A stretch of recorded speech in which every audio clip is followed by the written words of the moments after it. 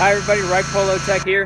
Today I'm just gonna do a quick uh, reminder uh, what I like to do, uh, you know, when I winterize my equipment. I did a video last week or a few weeks ago about uh, winterizing my equipment for the winter. Here in Kentucky, we take a few months off, usually December, January, and February, and then start cutting again in March. But uh, what I like to do is once a month I, I, grab out the, the zero turn and maybe even the blowers and the weed eaters and just start them up and just cycle the gas through through the engines just so it's not stationary in the lines.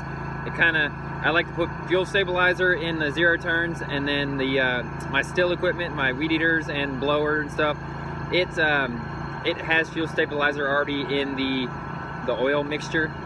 So um, anyways, uh, I just pulling it out and and starting it up now and letting it run for about 10 or 15 minutes and then I'll put it back away. So uh, anyways, guys, have a great holiday season and uh, I'll talk to you guys later. See ya.